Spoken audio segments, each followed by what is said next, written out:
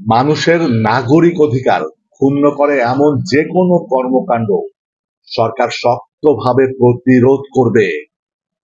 বাবার কবর জিয়ারত করতে এসে জানালেন নবনিযুক্ত অ্যাটর্নি জেনারেল। সেই ধরনের নাগরিক অধিকার ক্ষুণ্ণ করার যে কোনো পদক্ষেপকে এই সরকার যথাযথভাবে প্রতিরোধ করবে।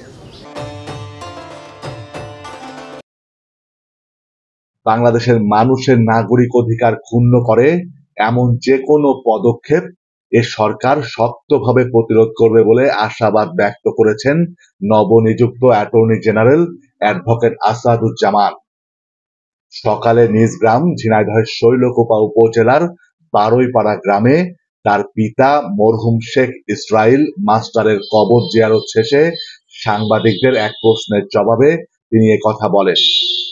তিনি আরও বলেন, বাংলাদেশে যে সকল কাজ নাগরিক অধিকার ক্ষুণ্ণ করে, মানুষের অধিকার ক্ষুণ্ণ করে, যে জন্য মুগ্ধরা স্বপ্ন দেখেছিল, যে জন্য আবু সাইদরা স্বপ্ন দেখেছিল, সেই স্বপ্ন বাস্তবায়নে এ সরকার ভূমিকা রাখবে। এমন কোনো কাজ করবে না, এ সরকার যা নাগরিক অধিকারের পরিপন্থী। দেশের মানুষের অধিকার রক্ষায় যা যা করণীয়, তাই করবেন তিনি। তিনি বলেন, এ সরকার যেহেতু দ্বিতীয় মুক্তিযুদ্ধ করে অর্জিত স্বাধীন সরকার, সুতরাং অবশ্যই অধিকার হরণের মতো কাজ কঠিনভাবে প্রতিহত করবে।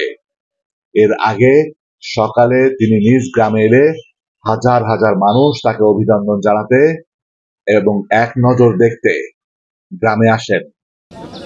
বাংলাদেশে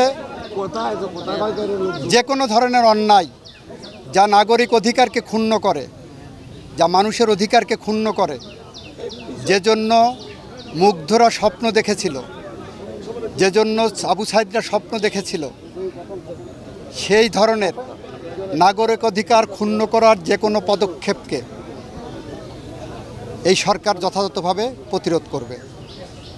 দ্বিতীয়ত বলেছেন, ডিজিটাল সিকিউরিটি অ্যাক্ট তথ্য প্রযুক্তি আইনের বিষয়ে এই সরকার যেহেতু জনগণের দ্বিতীয় মুক্তিযুদ্ধের মধ্য দিয়ে অর্জিত সরকার, এই সরকার নিশ্চয়ই জনগণের এই অধিকারের জায়গাটাকে সর্বাচ্চে রেখে, সর্বাগ্যে রেখে বিষয়টিকে অ্যাড্রেস করবেন।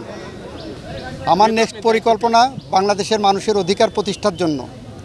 যা যা করণীয় তাই করব। গতকাল